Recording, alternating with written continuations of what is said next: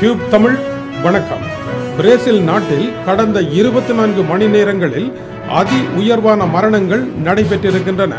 Corona காரணமாக எண்ணூற்றி எண்பத்தி ஒரு பேர் மரணமடைந்திருக்கின்றார்கள் என்ற அதிர்ச்சி செய்தி வெளியாகியிருக்கின்றது.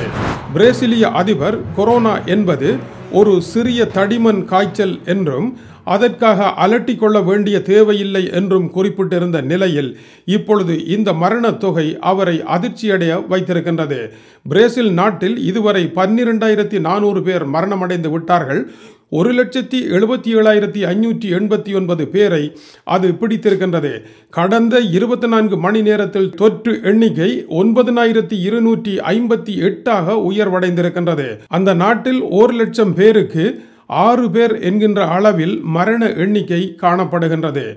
பிரேசில் நாடு மிகப்பெரிய நாடாக இருக்கின்றது. லத்தீன் அமெரிக்க நாடுகளில் முதலாவது அதிகமான மரணங்களை கொண்ட நாடாகவும் இந்த நாடு இருக்கின்றது. இந்த நாட்டில் சரியான முறையில் பரிசோதனைகள் செய்யப்படவில்லை என்றும் அவ்வாறு செய்வார்களாக இருந்தால் தொற்று எண்ணிக்கை இதை விட பல மடங்கு இருக்கும் என்றும் கூறப்படுகின்றது. ஒழுங்கான புள்ளி விவரங்கள் எதுவுமே அரசிடம் கிடையாது.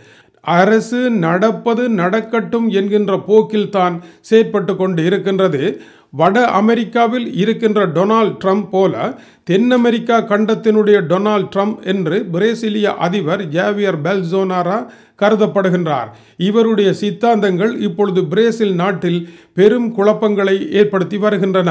கடந்த எட்டாம் திகதி மே எழுநூற்றி ஐம்பத்தி ஒரு பேர் மரணமடைந்திருந்தார்கள். இப்பொழுது அதே எண்ணிக்கை தொடர்ந்து உயர்வடைந்து கொண்டு செல்லுகின்றது.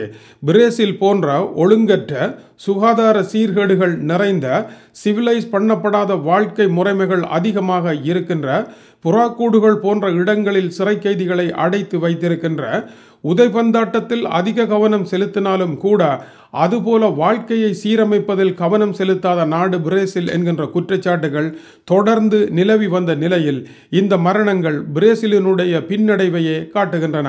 பிரேசிலினுடைய நிலைமை கவலை தருவதாக ஐக்கிய நாடுகள் சபையினுடைய பனாமா பிரிவாகிய பிஏஎச்ஏனுடைய தலைவர் மார்க்கோஸ் எஸ்பினஸ் தெரிவிக்கின்றார். மேலும் கொலம்பியா நாட்டில் பிரேசிலுக்கு அருகாமையில் இருக்கின்ற கொலம்பியா நாட்டினுடைய லட்ரிகா என்ற சிறையில் இருப்பவர்களை பரிசோதித்த பொழுது அங்கு ஐம்பது வீத மாணவர்களுக்கு சிறைச்சாலைக்குள் கொரோனா தொற்றி இருப்பது கண்டறியப்பட்டிருக்கின்றது இவர்களை என்ன செய்வது என்பது தெரியவில்லை. நூற்றி எண்பது பேர் இருக்கின்ற ஒரு சிறைச்சாலையில் எண்பத்தி ஒரு பேருக்கு கொரோனா தொற்றி இருப்பதாகவும் தெரிவிக்கப்படுகின்றது. அமேசோனாஸ் மாநிலத்தில் எழுநூற்றி நாற்பத்தி மூன்று பேர் இந்த நாட்டில் தொற்றுக்கு உள்ளாகி இருக்கின்றார்கள்.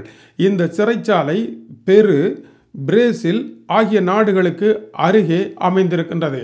இந்த சிறைச்சாலையில் ஏற்பட்டிருக்கின்ற தொற்றானது லத்தீன் அமெரிக்க நாடுகளில் போதை வஸ்து காரணமாக பெருந்தொகையானவர்கள் சிறைச்சாலைகளில் இருக்கின்றார்கள். இவர்களை சிறையிலிருந்து வெளியே விடுவார்களாக இருந்தால் மறுபடியும் போதை வஸ்து கலாச்சாரம் ஆரம்பிக்கும்.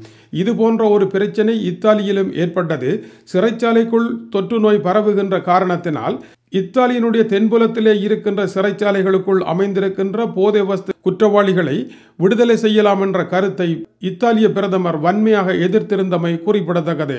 தெற்கு இத்தாலி போதை வஸ்துக்கு பேர் போன இடம் என்பதும் பிரேசில் கொலம்பியா போன்ற நாடுகள் போதை வஸ்துக்கு உலக புகழ் பெற்ற நாடுகளாக இருப்பதும் கவனிக்கத்தக்கது.